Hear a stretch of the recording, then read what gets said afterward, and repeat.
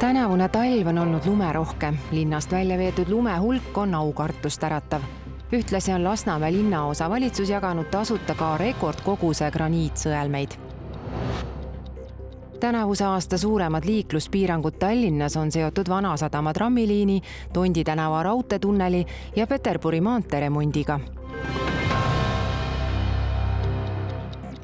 tere vaatama Tallinna uudiseid lumekoristus linnast on detsembri lõpus ja jaanuaris olnud küllaltki töömahukas. saja aasta tagust lumerekordit siiski ei purustatud tänase seisuga on lund Tallinna tänavatelt veetud kolmsada kaheksakümmend kaheksa tuhat kuupmeetrit, mis teeb kakskümmend kuus tuhat veokikoormat.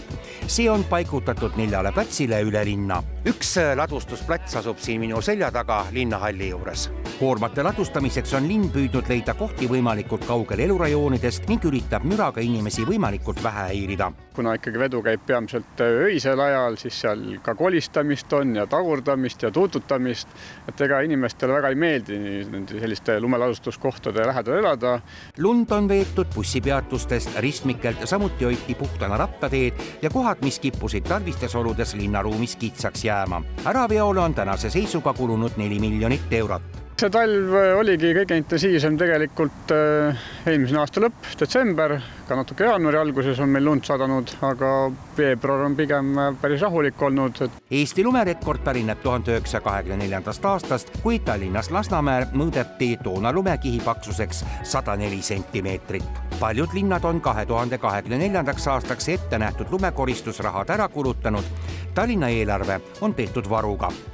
meil on äh erakorraliste ilmastikuolude reserv, mis on äh, linnaeelarves selleks ette nähtud ja täna ikkagi arvestame sellega, et talv ei pruugi veel lõpuni läbi olla, kõik mehed ja masinad on veel jätkuvalt selleks valmis. jalakäija igatalvine nuhtlus on needsamased graniitsõelmed. Lasnamäe linnaosavalitsus on tänavusel talvel oma elanikele tasuta jaganud sada kuusteist tonni graniitsõelmeid. Neid on välja jagatud mujalgi. sõelmeid tegelikult ju kasutataksegi kas siis äh, pinnase täiteks või osaliselt läheb ka prügilasse, sest see kokkukogutav materjal on väga palju segamini juba siis äh, sõiduteedelt lahti sõidetud asfaldiosakestega, et, et et ega sealt nagu head materjali enam kahjuks ei saa.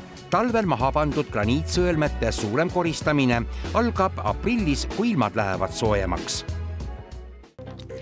alates neljandast märtsist jätkuvad Tallinna Vanasadama trammiliini ehitustööd ja kuu keskpaigast jätkuvad ka Tondi raudtee ülesõidu rekonstrueerimistööd, mis mõlemad toovad olulisi muudatusi Tallinna liiklusesse, aga tõotavad tuua vähem ebamugavusi kui mullused teetööd. Tallinna Transpordiamet vabandab ebamugavuste pärast ning tänab juba ette linlaste mõistliku suhtumise eest liikluse sulgemised toimuvad kahes tundlikus kohas. üks on Ahtri tänava lõunapoolne suund suunaga Pirita poole. seal on siis järgmisel nädalal neljandast märtsist kavandatud sulgemine, kus siis liiklus viiakse üle põhjapoolsele harule ehk tegelikult on peegelpilt eelmisest suvisest liikluskorraldusest. ja teine on Paksu Margareeta juures merepuiestee liiklussõlm kus siis samuti on vajalik liikluse täielik sulgemine, et kommunikatsioonid, rööpad ehitada. kui kõik sujub, on võimalus etapiviisilisteks avamisteks, liikluse leevendamiseks. seni viiakse liiklus siis kahesuunalisena Põhja-Puiestee peale. tööd seal, mis nüüd liiklust rohkem takistavad, peaksid olema septembrini seoses ehitustöödega suunatakse alates neljanda märtsi tööpäeva algusest kuni seitsmenda juuni tööpäeva lõpuni ümbersõidule ka seitseteist bussiliini. oma olulist ühistranspordi muudatust palutakse jälgida transport.tallinn.ee kodulehel. alates esmaspäevast äh, muudame seitseteist äh, bussiliini ära, ehk siis me suuname seitseteist bussiliini ümbersõidule, äh, mis võib kõlada küll hirmutavalt aga tegelikult see ei ole üldse nii hull eh, just selle tõttu, et me olemasolevate peatuste vahetus lähedusse panemegi uued bussipeatused ning eh, kõik see peaks väga hästi sujuma. Hilissügisega peaksid Vanasadama trammi välisehitustööd olema tehtud ning oktoobris võiks Vanasadama tramm teha juba esimese testsõidu on veel kesklinna tänavad, mis on jätkuvalt töös, Sillutiste all on hobujaam on jätkuvalt kinni, Laikmaa on kinni, Gonsioris on, et pigem toimuvad nüüd äh, järk-järgulised avamised. aga, aga rohkem äh, uusi kinnikeeramisi jah, ei, ei tohiks tulla Tondi raudtee ülesõidu rekonstrueerimise ehitustööd algavad viieteistkümnendal märtsil. tööde käigus toimub esimese sõidurea asfalteerimine Kotka tänaval, Kotka tänav üks pool ning teise sõidurea katendi freesimine. liikluskorraldus muutub ainult Kotka tänav viiskümmend kolm juures Tallinna linnapildist kaovad tasapisi ära kasutuks muutunud suunaviidad, nagu näiteks ettevõtete asukohti markeerivad tähised. linnal on plaan alles jätta vaid mõne olulise avaliku asutuse või sihtkoha viidad. Mustamäe on üks Tallinna linnaosadest, kus näha palju erinevaid teeviitasid, mis ei tähista sugugi tänavat või teed, vaid hoopis mõnda ettevõtet või asutust. selja taga nähtav suunaviid hunnik on siis väga keeruliselt hoomatav liiklejale, et kui ta otsib mingisugust ettevõtet, siis seal kümnete seas ei olegi seda õiget leitav niikuinii. selliseid tänavaruumi risustavaid ning kasutuks muutunud suunaviitasid plaanib linn nüüd järk-järgult eemaldama hakata. just äh, selle jaoks, et seda infomüra, mis liiklejale tänaval avaldub, ei oleks liiga palju. kõik see äh, suunaviidandus, mis äh, on tegelikult aadressi järgi leitav, ei ole tavaliiklejale tänaval üldse vajalik kui otsitakse mingisugust ettevõtet, siis äh, see ongi leitav aadressipõhiselt. linnaruum on täna äh, üsna üleküllastunud erinevatest äh, suunaviitadest, reklaamidest, et selle tõttu on üsna mõistlik aeg-ajalt üle vaadata, mis meil linnaruumis olemas on ja noh, näiteks üsna mitmed ettevõtted võib-olla on juba oma tegevuse lõpetanud või mingi teenus on kolinud absoluutselt teise kohta. ja, ja seetõttu ei ole vaja karta, et kui midagi on vaja ära võtta, mingi asi juba oma eesmärki ei täida, siis võtame ära aktiivne suunaviitade eemaldamine seisab alles ees. seni on tänava rekonstrueerimise käigus jäetud teeviidad lihtsalt tagasi paigaldamata. sama taktikat plaanitakse rakendada ka edaspidi. lisaks hakatakse tänavaid selle pilguga süsteemsemalt üle vaatama hiljemalt järgmiseks suveks on Põhja-Tallinna linnaosal soov valmis ehitada Stroomi rannahoone. antud juhul on tegu ajutise lahendusega, mis alates valmimisest peaks viie aasta pärast ära kolima uus rannahoone Stroomi randa, mis peaks valmima hiljemalt järgmiseks suveks, on kavandatud puitmoodul ehitisena. hoone tuleb üheteistkümnest moodulist koosneva struktuurina, mida oleks võimalik lahti võtta ning mõnes muus asupaigas jälle kokku panna kuna meil on Eestis palju puitmajade ja tehase, tehasmajade tootjaid just puit, puidu teadmistega, siis äh, seda know-how'd ära kasutada ja tehagi niisugune lahendus, mis, äh, mida me saaksime mingisuguses teises, näiteks Põhja-Tallinna rannas ära kasutada Stroomi rannahoone on planeeritud ajutisena viieks aastaks. kui vana rannahoone paar aastat tagasi maha lammutati, avanes üllatusena merevaade, mis kindlasti ka säilitatakse. see on kaks ehitist et äh, see koosneb siis äh, rajatisest, mis on siis mere poole ja mis on siis rannavalvetorniga sihuke randa teenindav rajatis ja hoone, mis tuleb maa poole, kus on siis kohvik, ürituste ruum, väike avalik saun. ausalt öeldes see oli ka nagu tore avastus meile endale, et, et kui nüüd see vana maja lammutati, siis see, et meil avanes merevaade äh, Kolde tänavalt, oli sihuke tore üllatus et äh, nüüd uues lahenduses enam kinni panna ei tahaks neli aastat tagasi korraldatud Stroomi rannahoone arhitektuurivõistlus kukkus läbi, sest hankega ei leitud ühtki teenusepakkujat, kes oleks olnud nõus ka uue hoone püstitama. kuna tegu on siiski väga olulise avaliku kohaga, on linnal eesmärk korraldada rannahoonele uus arhitektuurivõistlus. seni täidab kohta ajutine hoone. Stroomi rannahoone ehitusprojekteerimishange kuulutatakse välja lähiajal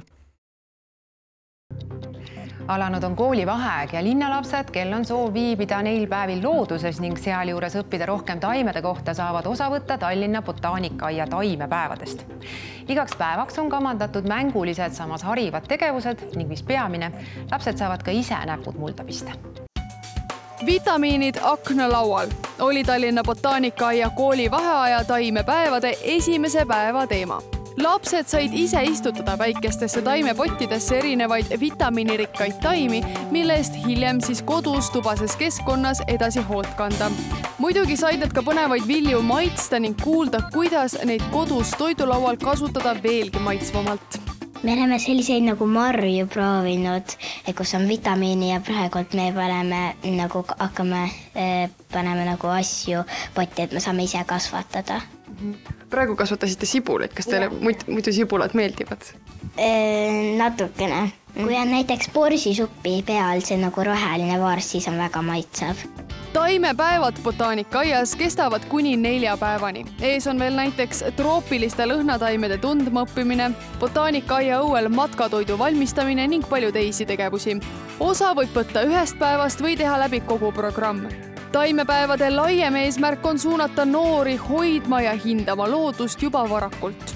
Koolitunni nendele teadmistele on alati vaja ka lisaks.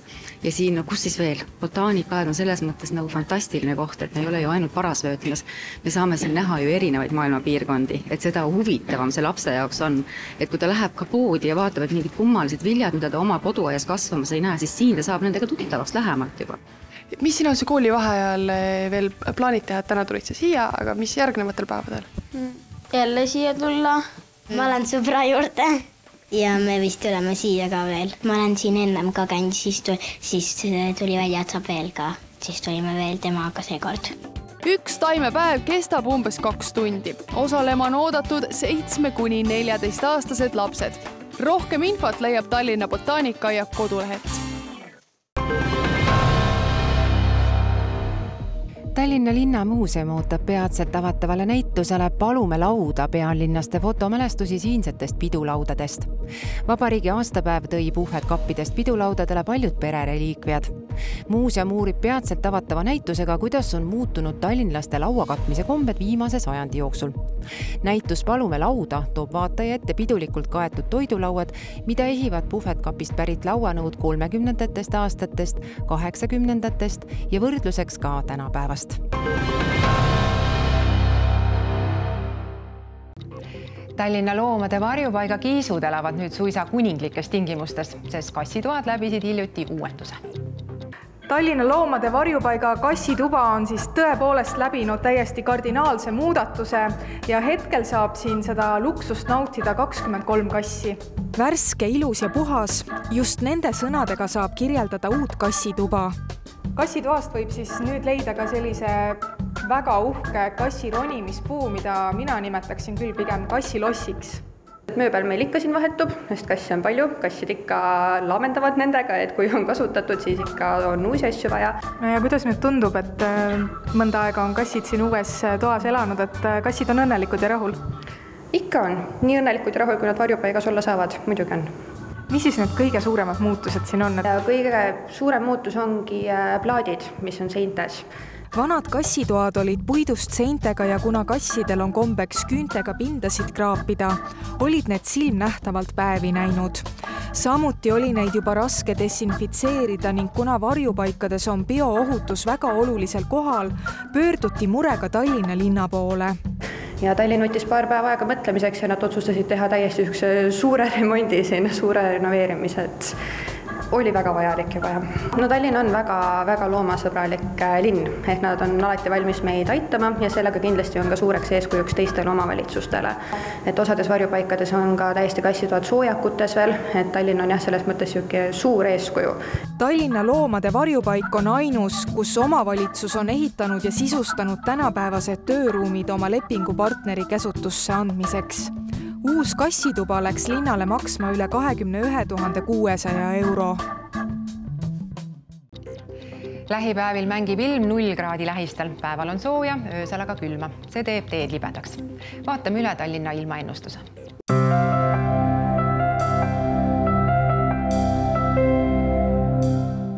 teisipäeval on pilves sademeteta ilm, temperatuur kõigub nulli ja pluss kahe kraadi juures, puhub muutliku suunaga tuul kuni kaks meetrit sekundis.